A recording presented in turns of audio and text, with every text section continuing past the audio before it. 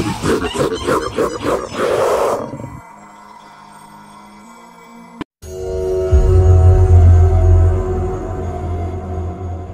बार की बात है। एक गाँव में पति पत्नी रमा और अशोक रहते थे। वो बहुत मेहनती थे। कोई भी छोटा मोटा काम करके अपना जीवन गुजारा करते थे। अजी सुनिए, दिवाली आने वाली है। आप शहर से कुछ पटाखे लाकर बेच दीजिए। इससे थोड़े पैसे भी कमा लेंगे। हाँ रमा, तुम ठीक कहती हो। मैं कल ही जाकर शहर से पटाखे ले आता हूँ। दूसरे दिन अशोक शहर के लिए अपनी साइकिल पर निकल गया। शहर में भीड़ भाड़ होने की वजह से अशोक को देरी हो जाती है और उसको गाँव में जाते जाते रात हो जाती है। वो जल्दी जाने के चक्कर में जंगल का रास्ता ले लेता है, क्योंकि वो छोटा होता है। उसी जंगल में काफ़ी अंधेरा होता है। और वो रास्ता काफ़ी खतरनाक भी होता है। बीच जंगल में जैसे ही अशोक पहुँचता है कि उसकी साइकिल भारी हो जाती है और वो देखता है कि साइकिल पंचर हो गई। हे राम, इस साइकिल को अभी इसी वक्त पंचर होना था। एक तो मैं वैसे ही लेट हो गया हूँ। वो साइकिल को खड़ी करके ठीक करने की कोशिश करता है, लेकिन उसे इस बात का कोई अंदाज़ा नहीं था कि वहाँ अचानक साइकिल पंचर कैसे हो सकती है। वही पास में एक पेड़ पर एक चुड़ैल बैठी होती है, जिसने उसकी साइकिल को पंचर की थी। वो अशोक को तंग करने लगती है और देखती है कि अशोक के थैले में बहुत सारे पटाखे हैं। उसका मन ललचाता है और वो अशोक के पीछे पीछे गाँव की ओर चल देती है। अशोक अपने घर पहुंचकर खाना खाकर सो जाता है। देर रात को जब अशोक सो रहा होता है तो चुड़ैल चुपके से अशोक का थैला उठा लाती है। अरे वाह! ये कितने अच्छे अच्छे पटाखे। मुझे पटाखे बहुत पसंद हैं। हा हा हा हा हा। मैं अभी इन सबको जलाती हूँ। बहुत मज़ा आएगा। चुड़ैल उसमें से पटाखे निकालकर जलाती है और देख देख कर खुश होती है। पटाखों की आवाज़ सुनकर अशोक और रमा दोनों ही उठ जाते हैं। अरे, इतनी रात को कौन पागल है जो पटाखे जला रहा है? दोनों बाहर जाकर देखते हैं कि उनका थैला सड़क पर पड़ा है और उसमें से कुछ पटाखे बाहर निकले हुए हैं। अरे देखो आपका थैला यहाँ सड़क पर कैसे आया? मुझे क्या पता?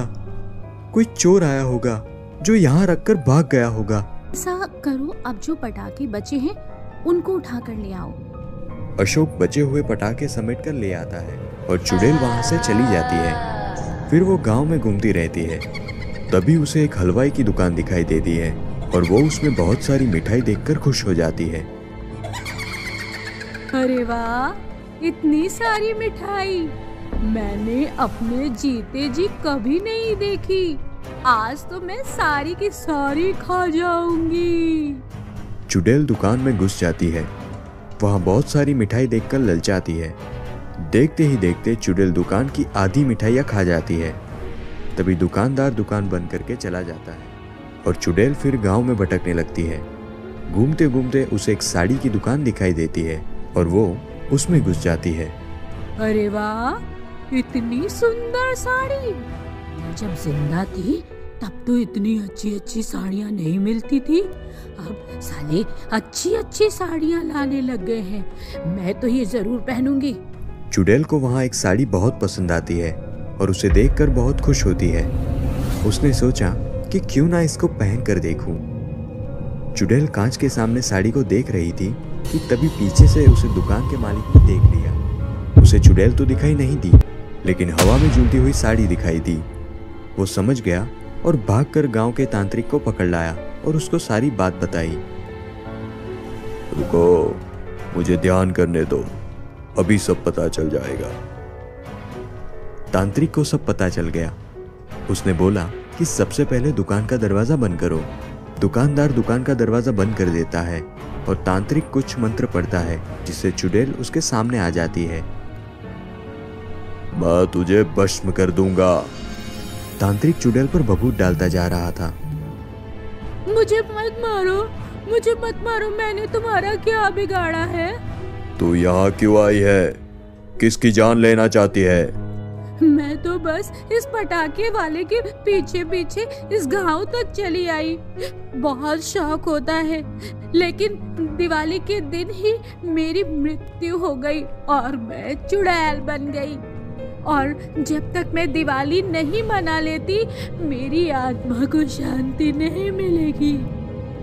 जैसे ही दिवाली आती है, सभी गाँव वाले चुड़ैल के साथ दिवाली मनाते हैं। उसे पटाखे जलाने के लिए देते हैं। और मिठाई भी खिलाते हैं और कपड़े भी देते हैं। देखते ही देखते पटाखे चलने लगते हैं और मिठाई भी खत्म हो जाती है। क्योंकि चुड़ैल गायब होती है तो किसी को दिखाई नहीं देती। ये सारी खुशी मनाकर गाँव वालों के आँखों में आँसू आ जाते हैं। तभी चुड़ैल की आत्मा को भी शांति मिल जाती है और वो वहाँ से सदा सदा के लिए चली जाती है।